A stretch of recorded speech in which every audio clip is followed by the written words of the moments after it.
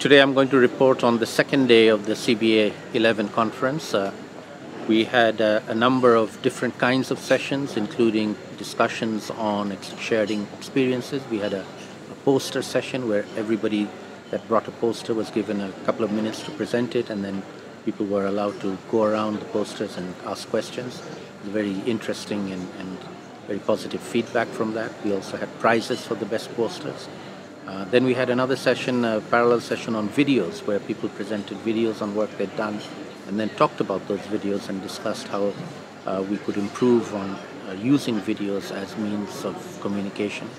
And then we also had some game playing as well by our friends from the Red Cross, who also brought us some very novel food items to link up. So they are very good at engaging people in different and novel ways to engage with an issue which sometimes sounds very esoteric or very scientific or very difficult to understand. We use all kinds of jargon words in the scientific community which often uh, ordinary people have difficulty understanding to and relating to. So a large part of what we need to do more effectively is communicate better the messages that we're trying to come out with. And we try and experiment with different methodologies and modalities from playing games to showing videos to having all kinds of different kinds of discussions and networking.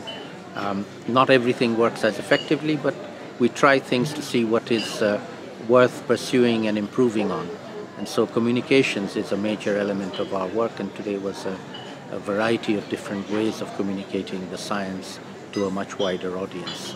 Uh, tomorrow we will have another uh, number of sessions. We will be talking about the NAP, Uh, the National Adaptation Planning Process. This is a joint program with the UN Framework Convention on Climate Change. And then day after tomorrow, we will have our final closing ceremony.